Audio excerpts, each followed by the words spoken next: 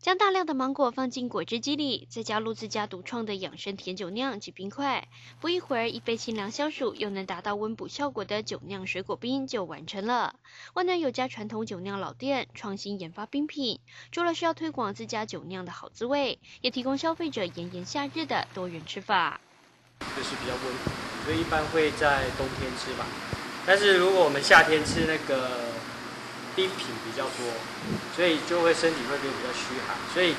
用这个酒酿去做一个中和，让身体比较不会那么的虚的，所以这个是一个目前是比较好的一个，算是比较养生的一种吃法。传统酒酿与冰品的创新结合，口感层次丰富，吃得到水果的鲜甜，还能尝到酒酿的微酸滋味，不仅激荡出味蕾的全新火花。喜欢吃酒酿的人也不必碍于气候，得等到冬天，夏日也能吃到美味又养生的酒酿冰品。它酸酸甜甜的，然后再加上酒，因为酒酿本身它这个发酵是没有什么酸味，它就是甜度很高，所以像做下去就它其实会呃有。提升糖的糖分的作用，因为它是葡萄糖嘛，但是它又不像你喝那个加蔗糖这样子，呃，有比较对身体比较没有那么健康，所以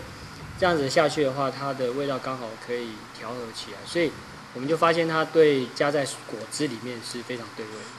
业者的巧思吸引不少消费者注意，但也有人质疑这冰品真的可以消暑又温补吗？中医师强调，两者综合的确有平衡效果，但凡是吃冰都应该适量。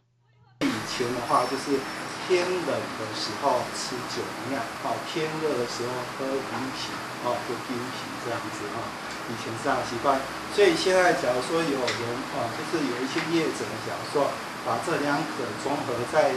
中医的理论上来讲，哈，就像我们的别处血溜冰一样，哈，是一个不不错的那种做法，哈，适量的吃，然后使身体的那种协调不稳定的话，哈，这样就是一个很好的那种一个方式。凡吃冰都得适量，才不会造成身体负担。而业者的创意巧思，不仅提供了消费者更多元的选择，水果冰品与酒酿的互补，也无形中开创了传统产业的全新可能。平东秀不停详词采访报道。